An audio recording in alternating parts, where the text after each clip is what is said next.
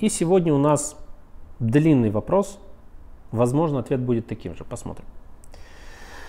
Зачитываю. У меня в провинции нет качественных курсов. Онлайн-обучение не воспринимаю информацию с такой подачи. Это мои комплексы. Остаются книги. Для себя отмел сразу веб-дизайн и любой фронтенд и десктоп. Так как подрабатываю Linux админом и люблю это направление, решил изучать серверное программирование. Много раз пытался освоить ООП самостоятельно. Расшиб мозг и возненавидел ООП. Понимая, что это от недостатка наставника, но негде взять. Логически пришел к выводу, что мне нужно изучать C. С моими костылями в голове, но не в лоб. Разработал план. Тут, ребят, внимание. Первое. С помощью FreePascal освоить основы программирования. Именно не стать паскалистом, а понять структуру создания кода. Два.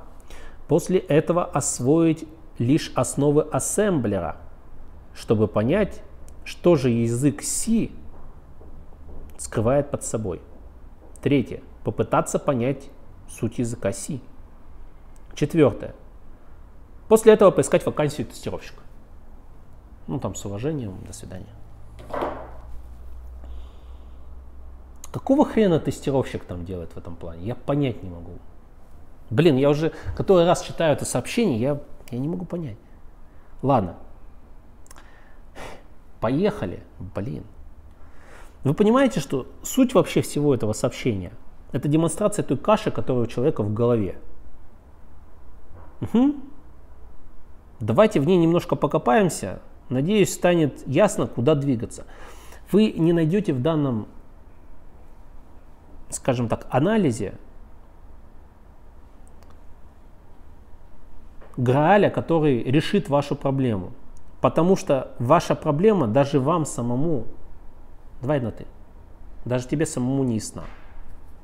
Но иллюстрирует очень хорошо то, что происходит в голове большинства людей, которые решили стать программистами. Ну или такую цель себе поставили, или об этом думали, мечтали, не суть. В общем, те, кто думает об этом, они же не знают, что же делать, как же быть. И поэтому, дай бог, составляют планы. Но вот этот план, он знаете, как я в одном выпуске уже писал, человек, который хочет создавать приложение на Android, и поэтому начал с HTML и CSS. Вот такая же взаимосвязь. Только тут человек вообще в конце уже тестировщиком собрался быть. Так. Давайте пробежимся по нескольким противоречиям, затыкам или каким-то убеждениям, которые тут просвечивают в этом сообщении. Онлайн-обучение. Не воспринимаю информацию с такой подачи. Не воспринимаю это что значит? Ты не слышишь, что люди говорят, ты не видишь, что они показывают. То есть, ну, что именно? То есть, просто я при, поясню, почему я на этот момент э, акцентирую внимание. В провинции нет качественных курсов, недостаток наставника и негде его взять. Остаются только книги. То есть человек поставил себя в безысходное положение, у него есть только книги. Понимаете, да? Нет статей в интернете, нет интерактивных курсов, нет курсов в игровой форме, нет видеоуроков в разнообразной форме. Нет онлайн-курсов, конечно же, наставников нет, онлайн-наставников у него тоже нет, у него только книги. Поэтому выбора нет. Но с книгами я расшиб мозг об ООП. Понятно, да? То есть на самом-то деле книги тоже херовенько работают. То есть выхода на самом деле нет. Возможно, из-за этого и тестировщикам потом. Я тут сейчас не насмехаюсь, я хочу, чтобы вы поняли это. Это лишь демонстрирует то, ну, что, что там бывает в коробочке происходит. Итак, давайте разбираться. Во-первых, я бы на твоем месте не ограничивал все-таки источники информации книгами, которые тебе, судя по всему, не помогают. А рассмотрел бы все многообразие информационных ресурсов, которые дает нам всем интернет. Слава интернету. Дальше. Серверное программирование. Что именно подразумевается под серверным программированием? Это написание демонов под Unix-платформы. Или мы говорим о создании биллинга. Но биллинг состоит из нескольких частей обычно, и какая-то веб-морда должна быть для клиента. То есть это не только демон, учитывающий похождение трафика. Или, может быть, это имеется в виду, учитывая, что тут слово Linux э, прозвучало, может быть, ты имеешь в виду создание приложений под Linux. А это уже ну, не просто серверное приложение, это десктоп-разработка, которую ты отмел. Тут надо понять, что такое серверное программирование в твоем понимании. Вот. Дальше. Добираемся, собственно, мы до самого плана. Вот этот сам план, да, это, как говорится, у меня есть цель, но я сделаю все, чтобы как можно дольше и с наименьшими шансами ее достигнуть. Вот так она и называется. Иллюстрируется на тем, что потом я вообще в тестировщики пойду. Вообще-то тестировщик и программист это две разные специализации. Понятно, они пересекаются так или иначе, и ты можешь перейти с одной на другую, вопросов нет. Но в данном случае цели стать программистом, вот, которая должна была быть четвертым пунктом, ну или пятым, десятым, но в любом случае она должна была там быть. Ее там в принципе нет, вы заметите. Это, кстати, хорошая иллюстрация вот этой витиеватости пути. То есть запрос на то, что я хочу стать программистом, а в итоге становлюсь тестировщиком. А где становлюсь программистом в плане? У тебя план развития чего? Тестировщика? Если тестировщик, тогда непонятно, зачем первые три пункта. Зачем тебе FreePascal, C и Assembler. А если ты собираешься стать программистом, почему в плане нету стать программистом? Я прошу вас очень сильно. Не надо писать в комментарии, я считаю, что человек там бла-бла-бла. Я предполагаю, что он имел в виду вот это. Ребят, вы не телепаты, я, между прочим, тоже не телепат. Я лишь анализирую то, что написано, то, что я вижу. Что происходит в голове у человека, не знаете ни вы и ни я, и не узнаем. Как я уже сказал, мы не телепаты. Поэтому не нужно теоретизировать. Я предполагаю, я понял, что человек. Нахер это никому не нужно предположение. Ты не знаешь точно, нахера об этом говорить вообще. У нас была рубрика Analyzed, ну как она и есть все еще, но там был один выпуск. Вот, блин, несмотря на то, что, короче, там э, целая куча телепатов в комментариях, я понимаю, что думала. Как ты можешь понимать, что думал этот человек? Я даже не понимал, что думал тот человек, хотя я с ним диалог вел. И за полчаса я все равно не знаю точно и наверняка, что он там себе в голове думал. Что самое интересное, он сам не до конца понимает, что он думал. И в данном случае точно так же. Потому что, ну, идет нестыковка просто. Это явная просто психологическая нестыковка целей и средств. То есть, если вам совет-то нужен, если вы хотите результата добиться, вот сейчас будет оно. Итак, по плану. Во-первых, определись, кем ты хочешь быть. Программистом, тестировщиком. Второе, ты собираешься вообще достичь этого результата? Потому что по плану я вижу, что ты делаешь все, что угодно, лишь бы не делать то, что нужно. То есть писать на C. Потому что ассемблер нужно бы учить после того, как ты с C разобрался, по-хорошему. Ну, потому что как бы регистр в ассемблере, на мой личный скромный взгляд, это ну, не проще, чем писать что-то на C. Может быть, конечно, для тебя по-другому, раз ты это вписал в план. Но если ты пишешь, что освоить основы ассемблера, наверняка ты не сталкивался с этим и не понимаешь, о чем говоришь. То есть ты сам выстроил план. Понимаешь, что еще интересно? Ты выстраиваешь план на основании полного непонимания того, как этот план будет работать. То есть, если мне нужно наколоть дрова, я понимаю, что план мой такой. Взять дерево, его срубить. Логично? Оно упадет. Я очищаю его от веток, я пилю его на части, беру эти чебышки и колю их топором. И у меня получается дрова. План четкий и понятный, я понимаю, какой результат принесет каждое действие.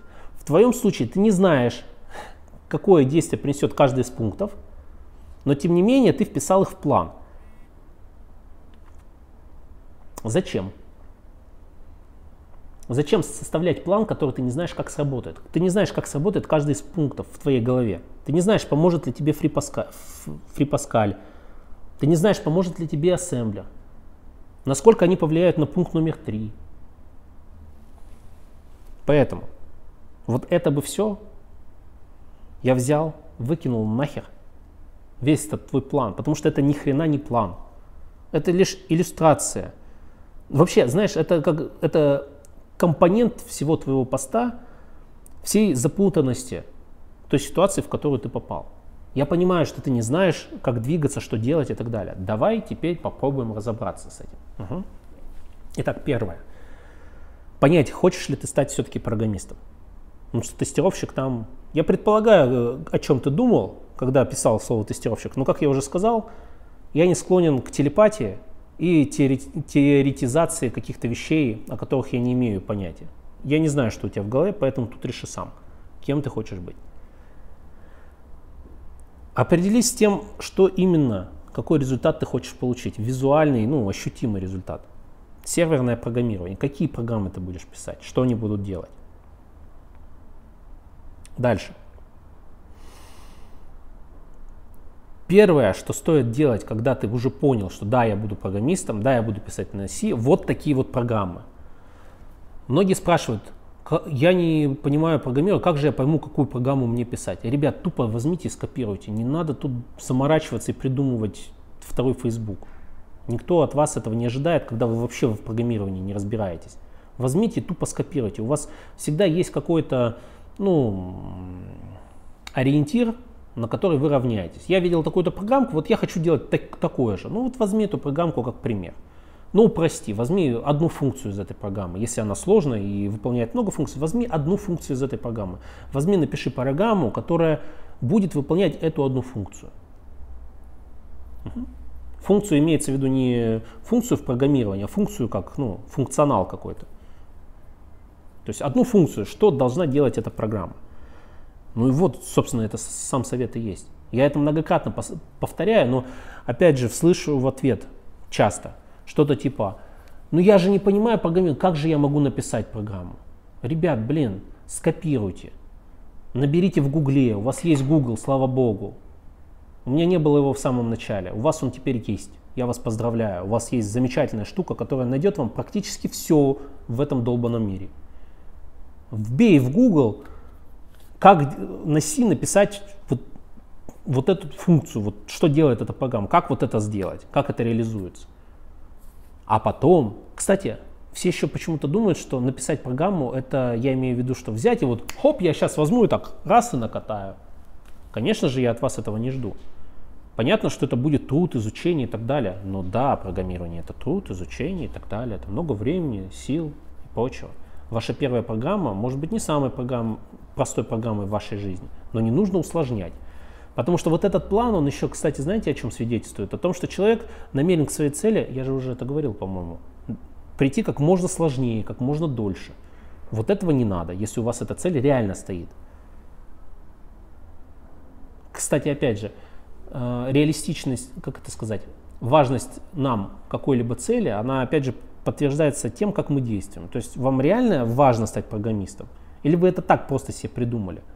поиграться. Если поиграться, ну и не парьтесь тогда. Может, вам не стоит ничего делать. Вы же и так себя заставили там много лет что-то делать уже по этому плану, чтобы прийти к цели. Может, вам нафиг эта цель не нужна. С этим нужно разобраться. Окей, предположим, она у вас есть. Предположим, она такая. Пишите эту самую простую программку. Потом повторяете эту итерацию с усложнением n количество раз. А потом, поверьте, вы поймете, что делать дальше, в, там, в процессе. Ну, если что, спрашивайте на ютубе. У меня или еще у кого-то. Вопросов нет? Отвечу. Понятно?